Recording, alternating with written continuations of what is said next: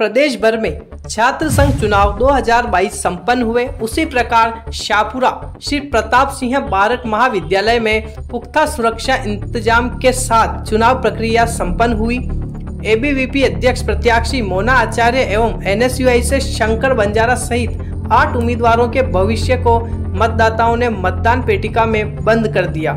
जो शनिवार को खुलने के बाद भविष्य तय करेंगे कि कौन होगा कैंपस का किंग। आपको बता दें कि शुक्रवार सुबह आठ बजे से शुरू हुई मतदान प्रक्रिया में शुरुआत के दो घंटे में वोटिंग प्रतिशत कम रहा तथा 10 बजे बाद चुनावी मैदान में रंगत आ गई, जो एक बजे तक तिरसठ प्रतिशत रहा तथा कुल सत्रह में से 1113 वोट पड़े।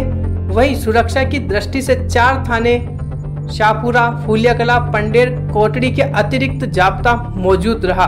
इसके साथ ही शाहपुरा डीवाईएसपी कर्ण सिंह थानाधिकारी शाहपुरा राजकुमार नायक, थानाधिकारी फूलिया कला दलपत सिंह मौजूद रहे।